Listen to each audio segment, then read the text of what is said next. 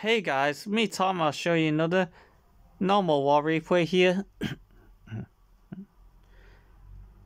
we have this base. We have a super wizard witch slam again. With a zap quake method. With zap quaking that's uh, top multi inferno. Nice. I think that quake could have been placed differently to the, hit the eagle and the three expos as well, but whatever. The only problem with this hit is taking a bit long to use zap quakes because because you may time fail if you take too long to zap quake so you might want to plan ahead in advance first but whatever we're using a log launcher to open up the base and swarm the remaining single inferno. See how this happens?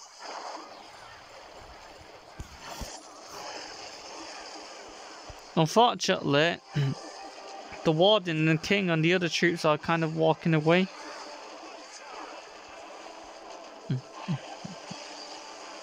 Freezing the CC, but I think a poison would have been better, but whatever.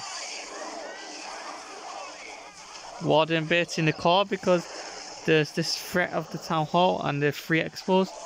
The goes down.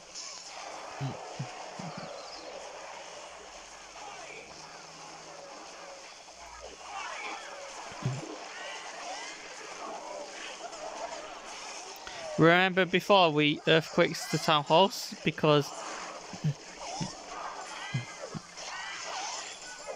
Yeah, I think, I don't know. No, we didn't earthquake somehow, but... Uh, so yeah. The king kept the flank on the right hand side surviving, and then we have enough for 3 star. What made this 3 star? Number one, Zap Quake 2 Infernals, making pathing and also making value.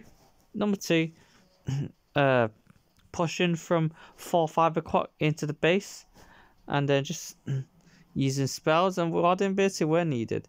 Having enough Queen Troops so you do not time fail. And try to keep the uh, witches at the flanks surviving so they can keep pushing through. Thank you for watching this guys and peace out.